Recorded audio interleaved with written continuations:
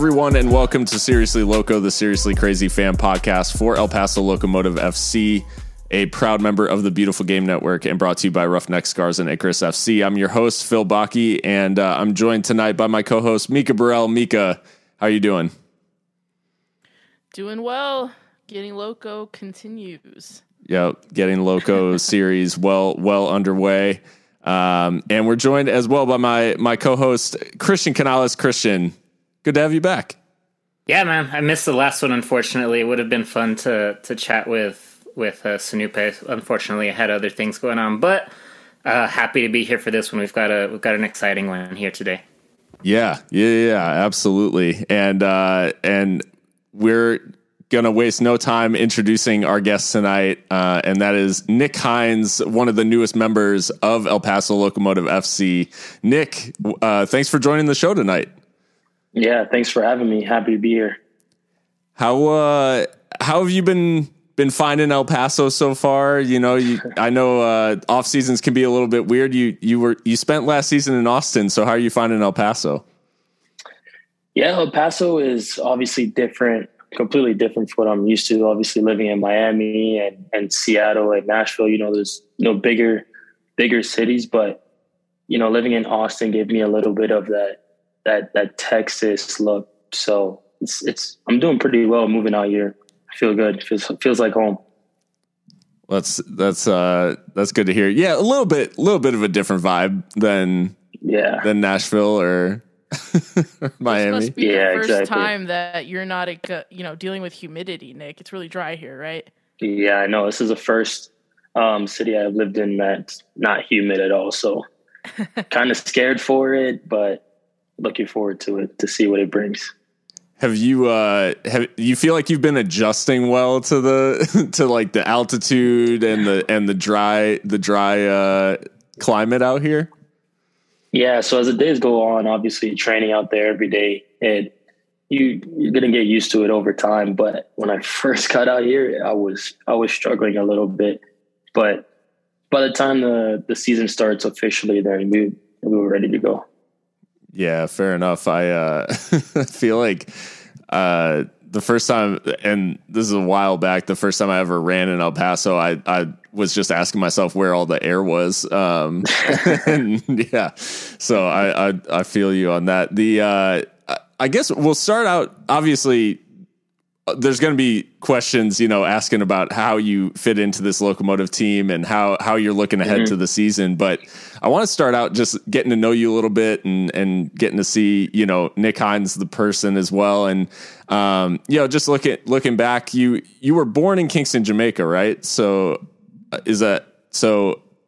I was curious, like how early you came to the states, and then what you know did your Jamaican heritage have any impact on your on your you know kind of early um, upbringing as a footballer? Did that did that have an impact on you? Yeah, so born Jamaica, moved over when I was very young. I want to say like two, three years old. Um, and yes, growing up, it did have an impact on um, how I viewed the game because my dad um, also played for the Jamaican national team and played professionally in Jamaica. So he was kind of lecturing me on, you know, what what I need to do and how I need to get better. So yeah, that kind of culture rose inside my household. Speaking of your dad, would you say that he's one of your kind of footballing idols, or if not, who are some of the the names in the game that that you look up to? Yeah, so I always, when I was young, I always looked up to him because he was, you know, starting off, I was, I was a forward and he was a forward. So it was like, oh yeah, I wanted to be like him. You know, all the stories that he used to tell, I wanted to, you know, replicate all everything he's told me. But growing up, um, I got switched to play left back, and then I also I fell in love with how Marcelo plays from Madrid you know, he just shows his personality and his flair, and he's always looking looks like he's happy playing. So I always I always looked at looked up to that, and I always loved that. That's really interesting, Nick, because I, you know, obviously when you signed, of course, we, you know, here at Seriously Loco, we do our deep dives, and I've noticed you've got a bag of tricks on you and you like to take people on. So I'm assuming that comes from watching Marcelo over the years. Yes, of course. That's awesome. Well, do you do you support Real Madrid or, or what club or clubs do do you support? No, not a Real Madrid. yeah, not not a Real Madrid fan. I'm a Chelsea fan. Gotcha. Okay. Yeah. European Love champions. Chelsea. Fair enough. Yes.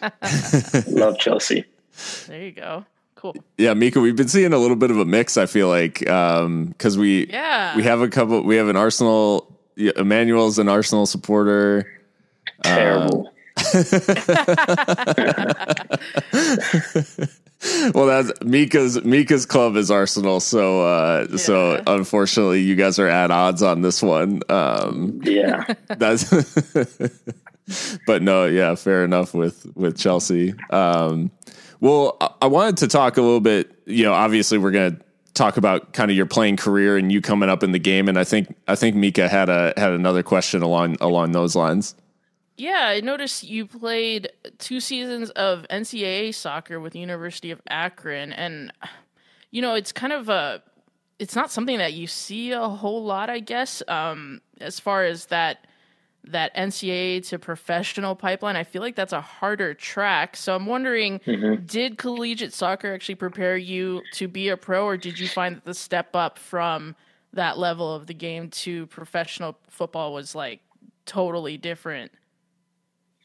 Um, I would say that my experience in my career it helped me um, to go collegiately first because in the collegiate environment, it's more physical output. You know what I'm saying? So they really prepare you to dig deep when, let's say, we're doing fitness or you know a, a hard training session or a drill whatever, whatever it may be. That it mentally you need to push through it because you know it's temporary pain and and and the outcome of it is going to be a lot greater than than what you think it is. And then you know, bringing that kind of aspect into the professional environment because they don't really teach you that per se in the professional environments or should be already known that you should be doing that kind of stuff. It helped me to progress faster and easier. Interesting. So you you would say that the NCAA soccer is really more about like the physical aspects what what were the kind of like technical drills though? Did they do a lot of that work, a lot of video work, or it was mostly just really training? Yeah, so um, the physical aspect was a, a, a tiny amount of what we all did at you know at the collegiate level. Obviously, I went to the University of Akron, so it was more um, technical based. We did a lot of technical training we did a lot of video to assess the games that we've been been playing, and I don't know. I think that in my in my environment at University of Akron, yes, there was a the physical output side, but the technical side, we were a very possession based team, so we focused a lot on that stuff as well. And you guys were pretty successful, right? Back to back conference championships in in your time there. Yeah, back to back. And then my second year, we went to College Cup. Very cool. That's awesome. Yeah. But you know, you're a Miami boy going up to Ohio. What was that like? Have you ever played oh in the my snow? god. Never played in the snow until I got to Ohio. how and how's that? Because if you're a possession based side, I assume the snow is stopping the ball in ways and making it bounce in ways that y'all were not happy with, right? Yeah, luckily it didn't snow too bad to where it obstructed our our our, our play, but let me tell you, it was the cold. I've never experienced something like that. it's way too cold out there. well, I uh, having just recently relocated uh, to Ohio myself, I'm looking out at snow right now, unfortunately, and uh, yeah not not yeah. too happy about it. So, yeah. so. Well, Nick, yeah, you know exactly what I'm going through. well, Nick, it's we call this the Sun City for a reason. You won't you won't see much of that here. So, um, yeah, thank God. safe place. so you went from Akron to the Seattle Sounders Academy, right? And I'm curious, did your time in the Sounders Academy ever overlap with John's? Because we know John coached there for a bit. Yeah, so a little backtrack. I started in Miami at Kendall Soccer Club Academy, Kendall Academy in Miami. Right, right. And then made my transition over to Seattle Sounders Academy when I was 16, 17, and then went to Akron and then went back I had to it backwards. that would have made sense. yeah. Yeah. and then after after Akron, I went back to um, Seattle Sounders two, and that was when um, John Hutchinson was was the head coach for Gotcha. the second team. So you Yeah. you played under him like for they were still S two I think right not yet Defiance. Yeah, they were S two, and I played for him for two years, and then Defiance, I believe, or I might have it mixed up. I think I played for him for one or two years, and then they switched over the branding to Defiance, and yeah. Well, you're kind of in a unique position then among our squad because you're perhaps the only one who's actually played for John before. So what can you tell us about those two years and, and what he was like a, as a manager? Yeah, he's a great guy. Uh, love Hutch. Um, he obviously demands a lot of, you know, energy and, and focus and and all of that from all the boys, which is great because everyone it gets everyone tuned in in training and stuff like that. Um, he likes to play aggressive, attacking football, which is I from playing under him, I can tell it's very beneficial in this league. Um, it's very hard to stop, very hard to counter counter press and stuff like that. So, yeah, I think that the brand of football that he's trying to bring out here it will definitely fit the personnel we have, and you know, in order to win championships and and and other accolades. with uh with your time out there at Seattle, um, how do you what do you think, I guess, in terms of the thing that you got in in Seattle's academy or in S2 that that really armed you to continue on into the professional ranks and and get the move to to Nashville that you got? Um, I think what really helped me was, you know, thankful to the Sounders organization for putting me through this process. But when I was um, in the academy, I always got the opportunity to play up with S2 or p- train with the first team. So I see what it's like in that kind of environment of how clean and precise everyone is and how everyone's play is. So I feel like playing up and playing against a lot older, experienced professionals at a very young age helped me progress and helped me clean up, you know, some of the things that, you know, a regular 17 or 18 year old won't do. So you you get that move from Seattle to Nashville, and obviously, you know they uh, they make the transaction. It seems like it seems like, hey, I'm I'm going to be in Nashville for a while, and then obviously, like the loan the loan move to to Austin comes out, and I think we've talked with a couple of of the other players about you know everyone kind of starts to think of athletes as like it's just a straight line progression. And you start Yeah. here and you just continue in a straight line that can be a little bit of a like when there isn't a necessarily a straight line progression it can feel like a little bit of a setback but how did how did you feel about your about your move to Austin and how did you feel about your time there Um, obviously, every everybody going from the MLS back to the USL, especially when they just get the call up to the MLS, is going to look at it as you know a little setback. And at first, I'm not going to lie, I did a little bit because I just moved out there, just got everything settled, and then for me to move again was, you know, a little eye opening to me on on what I needed to do. But then I also looked at it as opportunity that I'm going to be able to play showcase my talent and and just get better all around. And I mean, you obviously you did end up playing a lot for Austin and ended up featuring really heavily in that in that side last season. So um, when you look back on that season, um, how how do you think it went? What what did you what did you really take away from that that year out in Austin? Um, I think that the results, obviously, from the soccer perspective and the team perspective, could have been a lot better than what we've hoped. But that team faced a lot of adversity from from the news of switching to a different city to getting new head coaches, you know, people moving around in the front office. And the fact that the guys in the locker room stuck together and still try to grind out wins and, you know, stuff like that is what I admire the most. So going, I know we're going backward through the career progression a little bit, but um, you you earned a few caps with the United States U20 team. Uh, can you tell us a little mm-hmm. bit about what that time in your career was like when you were uh, in those camps? Yeah, so those camps um, I got when I was, I want to say 17, 18 in the, when I was playing for the Sounders Academy. Um, those camps really opened my eyes to talents overseas playing against teams like Germany, Finland, um, even Greece. You know, it, it just shows that doesn't matter where you are, you know, there's talent everywhere and it's a competition everywhere, basically. You know what I'm saying? So it's not like, you know, your job secure and and just because I'm playing for El Paso and just because I know Hutch and stuff like that, it, my job is secure. No, there's there's plenty of people all over the country, all over the world that want, if not, are looking to take your position.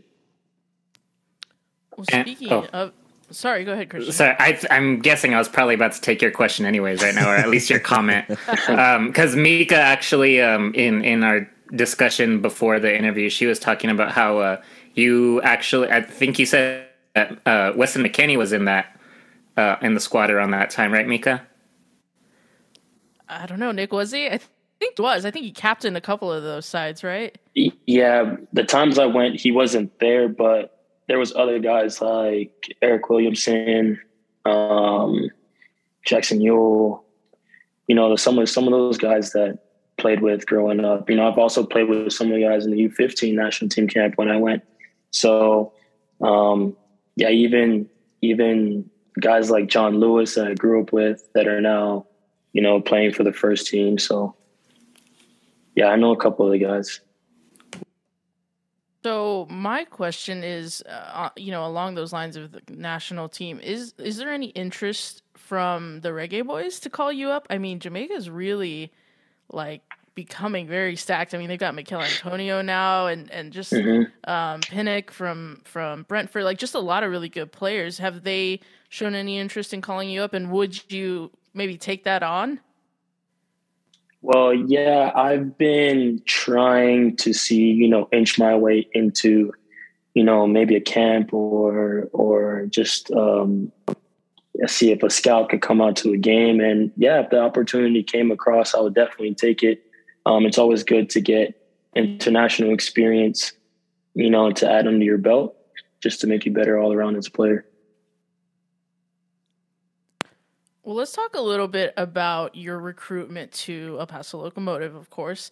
Um, mm-hmm. How did you learn of Locomotive's interest in you? Obviously, you know, we've talked about how you've got that connection to Hutch, but is it as simple as that? Is he's like, hey, I'm, you know, I'm looking for a left back. Are you, are you interested, or, or how did that come about? Yeah, so before Hutch even got the the head coach role, when I was with Austin, my head coach at the time was um, Ryan Thompson, and he was telling me that um, that El Paso, you know, just going around the league saying, "Oh, this team is interested, this team is interested," because you know the team was crashing. You know, he wanted to help out some of the guys that knew that had options, and then you know, I was I was weighing out my options in the off season and what I wanted to do, and you know, speaking to family and stuff like that. And then Hutch contacted me and said, hey Nick, listen, look, I want a winger this year. I want you to come play wing for me. Let's let's figure out the details and, and see where we could go from there. And then I was like, okay, like I'll sit and think about it, you know, and then spoke to family, looked at my other options on, on what was good for me. And I was like, you know what? I just take the opportunity and, and, and make the best of it. So mentioning that time with Bold, obviously you've come up against locomotive on the field before at, as mm-hmm. an opposition player, and you've come across quite a few. You know, obviously, a lot of the squad is still around that that you faced. So, what are your views of of the squad and those players that that have stuck around um, in in El Paso from the point of view of of having to had to you know defend against them or or or play against them? Yeah, at first playing against them, I was like, "Oh, these guys! Like, I hate these guys. You know, run all over the place. These guys are too good. Like, I hate them." But no, coming here, it's very family oriented. You know, everyone's close and made my transition here very easy. You know, they they welcome everyone new here with open arms, which which is which is what I love. Well, you kind of mentioned this a little bit uh, earlier when you were talking about how you were recruited because you know Eder Borelli, he's kind of thought of in in most fans' minds as the starting left back. Um, mm-hmm. h- how do you feel about that healthy competition, or are John's plans for you really just to play further up the field as a winger, which there's competition in those spots too? Yeah, so I think as of right now, um, he's pushing me further up the field to try and you know compete for that left wing role because like you said like looking at my portfolio and stuff, I love to go at players and take people on, and and obviously I have some um, defending um, history. So when we lose the ball, me defending up up higher up the pitch is is also a, a positive. So I think that as right now, you know, I I think that I'll get pushed up the field. But as you know, anything could change in the season from injuries to unfortunately COVID and stuff like that, you know, so I'm open to anything at this point. Right. So, Nick, correct me if I'm wrong, you're left footed, right, primarily? Yes. Okay. So, I'm kind of curious because you, it's it, lately, at least in the modern game, the past couple years, there's been a lot of focus on inverted wingers, right? Where the mm-hmm. winger is, is on the opposite side of their footedness if you were playing as a left wing, you'd obviously be on the dominant side. You'd be left footed on the left wing.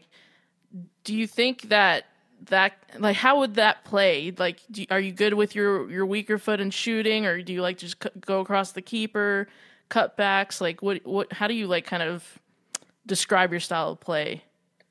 Yeah, so my style of play, I would describe it as I'm not the type of winger to cut in all the time and shoot with my right or cut in and then you know try and you know or cut it back and try and cross over my right and stuff like that. I'm more of the winger that's going to try and take people on, you know, with the mindset of okay, I'm either going to beat you down the line with my, my speed, or I'm going to find a way to shift your body in a way where if I go inside, I could come back out, or if I go inside, I can get into the box and either draw a PK or if I have to, I'll shoot with my right foot and stuff like that. I'm not saying I never use it, you know what I'm saying? But my main um my main goal is to utilize speed and my technique to try and get past people or or you know my change of direction where I trying to let's say if Vela's a 10 and he's starting, I try and play it into him and then run off of that because it's very hard for you know, players to continuously track someone that has a lot of speed. In preseason, have you been playing with uh, with Eder behind you then at left back? How's or how's that uh, kind of combination been, and who are you kind of finding that you really gel with on the pitch so far? Yeah, so as of right now, um, it's been a mixture between Foxy and and some academy boys. Um, but yeah, I mean, whatever, whatever, whoever was playing behind me, I always just try and tell them, you know, it, any communication you give me, it's just easier for the both of us and what we need to do. So, for sure. So you guys have ha- now have a, a, handful of preseason games under your belt, and like you said, you've been you've been kind of playing with a mix of obviously the first teamers, the academy, and and uh, now you've you faced, I, I think the Lou City game. If the if the reports are correct, uh, were, was a little bit it got a little bit shaky towards the end. Um, not sure Yeah. how the squad uh, shaped up based on. I know it was big changes at halftime and all those things, but um, with those games under your belt, how are you feeling about how the squad's coming together under Hutch, and how do you feel about about the team and um, and where you're standing right now with just a, a few weeks to go until until the start of the season? Yeah, so I fe- I'm still feeling pretty confident. Um, the the guys in the locker room, their morale is still pretty high, even after you know that un, un unfortunate result. But yeah, I mean, you know, we're just connecting pieces little by little. Um, obviously, the more games we get, the better off we'll be. So we'll give it to them. We'll give it to Lou City. That you know, okay, kudos to you guys you know, you guys beat us at one time, but when it truly matters during the season, you, I think they come to us is when we'll show them how when all, all of our pieces are assembled. You got a you I saw you you actually got a goal in that one the other day too, so congrats to you on that. Thank you, thank you. yeah. Um was that go cutting in with the right, or was that? No, no, no, no. That was off of a a Lucho PK. Oh, that's right, the rebound. Oh, right, right, right. Yeah. What has Hutch communicated to you all in terms of what the goal is this season? Is it really, you know, have a good regular season, make the playoffs, go all the way? I mean, is he talking long term like that, or is it, you know, one game at a time? Yeah, so we all have the goal to give what give give back to what the fans deserve. Obviously, not being part of the squad last year, but seeing what you know happened last year that unfortunately ended the season. I I, I understand where everyone's coming from, and they want to give the fans of what they deserve, which is win win the conference championship, win win win the whole league, and stuff like that. So we have that in the back of our minds where we want to win. We want to win every single game. We want to make playoffs. Going to make playoffs. We want to win the the conference title, but we're just taking it game by game because obviously, if you think too far ahead, then it's tough to accomplish your short term goals. Speaking of fans, Nick, I think that's really interesting that you kind of started off talking about them. I know, you know, what's best for you as a player and, and the fit with the club is probably, at, you know, at the forefront of your mind when you were picking your next move. But Mhm. I mean, El Paso's pretty well known around the league for our fan culture. We sell out all our, you know, pretty much every game. It's always a full house. Did that attract you as well? Was that ever in your, your thinking? I mean, we've got the, the famous eighth notch. I don't know if you've seen any of the tifos they make. I mean, Mhm. it's it's a raucous atmosphere. Did that did that attract you at all? Yeah, of course. It always plays into every professional athlete or professional soccer in this perspective um, decision on where they want to go. Firsthand, coming here with Tacoma, I experienced it, and then you know I also experienced it with Austin Bold, and it's it's it's a different environment. You know, fans are loud, fans are very supportive. They get into the games and and it makes it really hard for anyone any opponent that goes in and tries to play in that stadium so you know that that also attracted my decision to go and, and play for you know the locomotive Cool. Well, we're um we're we're about finished with with everything that we've got here, but we've got the the one uh uh closing up question that that we ask everyone. We're we're a little bit notorious for it at this point, but um I think you, you've probably been in El Paso for for a while now, right? mm-hmm. You've About a month. Okay. So I don't know how how much of a chance you've had to go around and, and check out the city, but um, we've had some this season in particular. We've had some interesting responses about uh, the El Paso food. Uh, Coach really got on us about uh, portion control, and um, and Emmanuel had a had a local dish that uh, is definitely an acquired taste, as as Phil and and Mika can attest to, both being yeah not uh, natives here. But um, have you had anything since you've been here that's really stood out to you? Something that you really enjoyed eating? I know you probably got some some Tex Mex Mexican food in Austin, but we've got real Mexican food in El Paso. yeah, yeah. So what Emmanuel was talking about, I was actually with them and I tried it with them as well, and it was definitely a different experience of what I've I've been through with food. Um, but no, there's some there's some good places out here. When I um, just got out here and I was staying downtown, I visited Taconeta, which is pretty good. It's really good actually. And then um, when I was with Austin, Austin Bold, we came out here and we found a Jamaican spot, surprisingly, um, up north. And I remember the name of it, and I went back out there again. You know, it's pretty good. So, uh, so far, those are the only places that we've been to, other than like the traditional Olive Garden and, yeah. and you know stuff like that. I, I'm actually interested. Can you drop the name of that restaurant? I know. I was like, expose them, Nick. We need to know who had these terrible rolled tacos. No, no. Well, I'm talking about the Jamaican food. I'm talking about the Jamaican. Okay. because like post receipts. That's yeah. no, the Jamaican spot was was it's called Island Vibes. Oh yeah, I think that's Yeah. over on Dyer, right? I Yeah. it's good. It's it's Yeah. near uh I think Fort Bliss. It's right. near over there. Yeah, it's really good. Really good. Cool. What is your favorite uh, Jamaican dish? I I've only ever had like the meat patties, but Yeah. There's you know, obviously I'm Jamaican, I love it all, but um the first one I would come that comes to mind is oxtail. oxtail. Yep. Okay. Love that. Love that. So good. Is that too heavy for a pregame meal though, or is that like Yeah. any time I could smash that? No, it's way too heavy for pregame meal. So, so with with Jamaican food in in general, I think majority of it is pretty heavy. So I try and stay away from that before games. But after games, wow, I'll definitely take that down. There you go. That's awesome.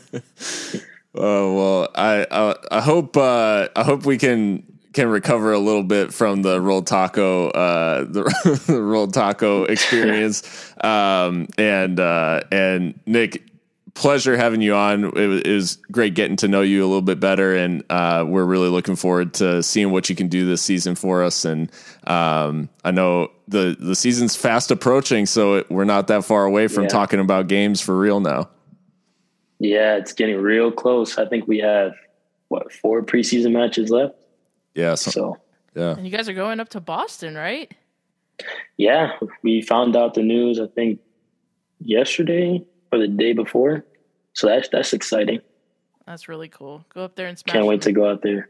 Yeah, but it's gonna be cold, man. I can't. It's gonna be Well, you're prepared, man. You've got you've got Ohio experience. just having flashbacks to Akron. yeah, I know. I hope I hope we play indoor, but no, I'm really really excited to go up there and you know get the experience.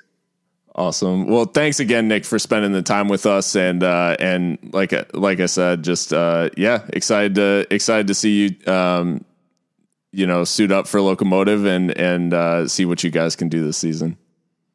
Yeah, can't wait. Thanks for having me again. Yeah, of Thanks, course. Nick. Thanks so much. Take care, guys. You just heard from Nick Hinds, one of the newest members of El Paso Locomotive, and uh, Nick coming in as an experienced uh, experienced player at this level in USL. He's he's been at S two slash Defiance. He's been at Austin Bold last season, and it sounds like Hutch has brought him in because he's familiar with what he can bring, and uh, he's asking him to to be higher up the field as well. Um, yeah, looking forward to seeing what Nick can bring. And I mean, I'll be honest, we've got a lot of options in in attacking areas, and it's exciting stuff. Really, really exciting. Um, so we are uh, we're all looking forward to what Nick can add to what is already a uh, a, a pretty strong attack. So. Uh, all that being said, if you have not already, um, you can find Seriously Loco on any of the major podcast platforms, and you can subscribe on any of those. Uh, you can also find us on Twitter, Instagram uh, at Seriously Loco, and uh, if you so choose, and you're like, wow, I want even more of this, we also have a Patreon. Um, so if you can uh, find us on Patreon, there's actually a handful of articles up on there now. Um, outlining and profiling some of our newest players. The last one to go up was the newest signing, Ander Egiluz, who is uh, Mika wrote an awesome article about, which you can read up there now. It's open for patrons and it'll open for free for the rest of everybody else. If you want to consider supporting us, uh, it is two bucks a month um, for the patron bonus content. Um, but uh, all of it comes out from behind the paywall after a couple of days, anyways. So if you don't want to do that, totally fine. Um, but if you do, check it out and uh, consider supporting us. And until next time, stay loco.